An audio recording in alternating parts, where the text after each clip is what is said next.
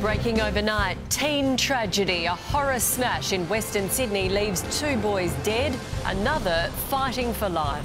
Breaking news flash flood emergency. Melbourne smashed by a violent storm. One month's rain in one hour. We're live to the damage zone. Developing now, a grieving family's plea for justice. The sister of a young doctor killed defending his Melbourne home speaks out on Sunrise. The Middle East explodes again overnight. Houthi rebels launch a missile strike on an American ship in the Red Sea. New details croc attack nightmare. A nine year old mauled near Kakadu amid calls for a cull as salty numbers soar. New this morning, the PM flags urgent cost of living relief for voters. Help to pay your energy bills before the May budget. And new pictures. Mary steps out for her first full day as Queen, warming hearts on a cold Copenhagen day. It's Tuesday, the 16th of January 2024. Right across Australia, this is Sunrise on 7. Now, live from Brekky Central, Nat and Nat. Hello, everyone. Welcome to Sunrise. Thank you for joining us. Also, coming up this morning, we are live to the red carpet in LA for the Emmys. Our Aussie Golden Girls are set to shine at the TV Oscars, and we have all the excitement covered for you. But first, to a tragic scene in Western Sydney overnight where two teenagers were killed after their car crashed into a pole. Live to Liam Tapper, who's at McGrath's Hill this morning. Liam, another boy was rushed to hospital. Yeah, he certainly was, Nat. That was the 17-year-old driver. He was taken to Westmead Hospital in a serious condition where this morning he is fighting for life. But it was here on Windsor Road at around 10 o'clock last night that emergency crews were called here after the car that he was behind the wheel of a sedan crashed into a telegraph pole. Now, um, tragically, Two teenagers, they were treated at the scene, but they passed away here on site despite the efforts that paramedics put in place. Now, the crash investigators, they've only just left the scene within the past hour. They are going to investigate just how this happened on this notorious stretch of road here in Western Sydney. Um, I'm being told that both the rain along with speed, they will be factors that are going to be investigators. Uh, there were a number of people who were gathered here at the telegraph pole where this accident occurred uh, about half an hour ago. They they have since left. As you could imagine, extremely, extremely emotional because, of course, this community out here, they are very tight knit as well. Uh, but this investigation, it will be ongoing this morning. Nat will bring you the details as they come to hand. Okay, thank you, Liam. Here's Matt.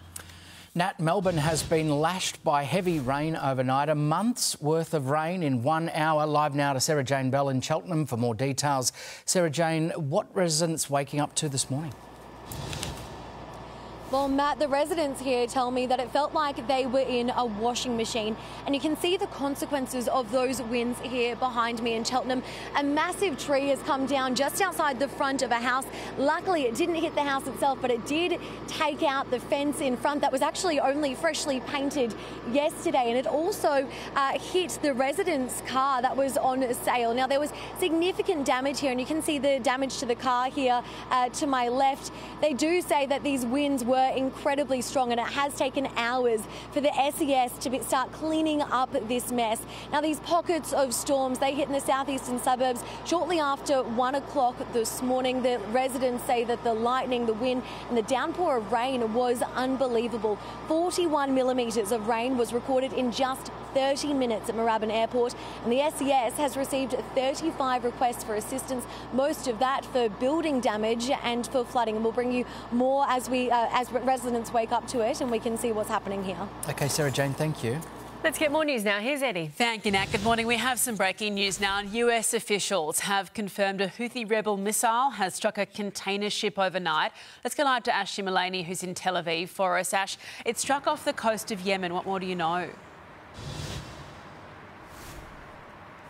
Well, this is a troubling development in the Red Sea, Eddie, with confirmation that another missile has struck a US container ship. The US Central Command has confirmed tonight that the Iranian backed Houthi militants fired an anti ship ballistic missile from Houthi controlled areas of Yemen and struck the MV Gibraltar Eagle. That is a US owned and operated container ship. The ship, they say, has reported no injuries or significant damage. It is continuing on its journey, but this is the second strike in as many days, firing on a US destroyer just uh, yesterday. Now, Clearly, these Houthi militants, undeterred by recent US and UK airstrikes, Rishi Sunak has today defended those airstrikes, saying they were done in self defence and to defend freedom of navigation. I do not take decisions on the use of force lightly. That's why I stress that this action was taken in self defence. It was limited, not escalatory.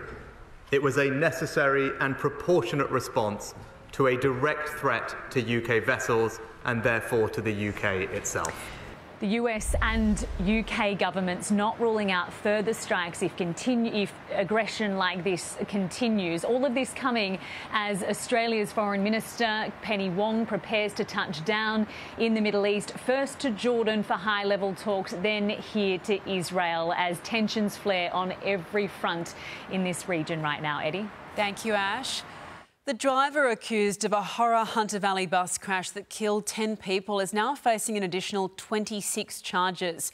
59 year old Brett Button is currently on bail for 63 charges after allegedly losing control of a bus carrying wedding guests last June. It's understood police expect to lay the further charges, including 10 counts of manslaughter, when Button faces court tomorrow. Police are investigating whether alcohol was a factor in a crash in Sydney's inner west overnight. It happened at Strathfield. Emergency services arriving to find a car and a ute had collided before the car hit a tree. The driver of that vehicle was treated for minor injuries before being taken to hospital. The other driver was breath tested and taken back to the police station for questioning. The cause of the crash is still under investigation. It's been revealed this morning the PM is considering fast tracking cost of living relief for millions of Australians ahead of the federal budget in May.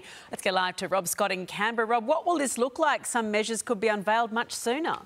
Yeah, that's right. Possibly in the next couple of months, Eddie, as the government faces what is becoming a vital by election in Melbourne. Now, cash handouts aren't on the cards, but it's believed extra relief in the form of more rebates for household energy costs are a likely possibility. This as the Prime Minister tries to build up trust and support with voters ahead of that Dunkley by election, which is a mortgage belt seat where rate rises are biting incredibly hard. Mr Albanese is also pushing back against rising pressure from within Labor to dump the 20 $20 billion a year stage three tax cuts. He argues that they won't just help the top end of town, but will also deliver relief to those earning as little as $45,000 a year. And he has got a staunch ally in that battle with the South Australian Premier Peter Malinauskas fully endorsing reducing taxes on workers. Eddie? Thank you, Rob.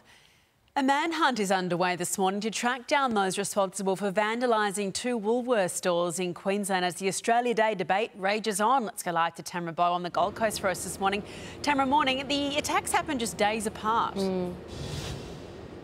They did, Eddie, and now in a desperate attempt to find those responsible, police have released CCTV of a particularly bad incident that occurred up around Brisbane. In that vision, you can see a person wearing a black mask using spray paint to graffiti the front of a Woolworths store. They then release a flare before taking off that forced the evacuation of 100 apartments in the nearby area and set off multiple fire alarms. Now, in that message that was spray painted, you can see the words January 26 and boycott Woolies. It is the third such related graffiti attack that has happened across southeast Queensland using similar wording and comes soon after opposition leader Peter Dutton publicly told people to boycott Woolies over its decision not to stock Australia Day products this year round, which Woolworths says was motivated by a lack of sales. Peter Dutton has since condemned those acts of vandalism, Eddie, and steering well clear of all politics. Woolworths says it's working closely with police who don't believe those vandalism attacks are related.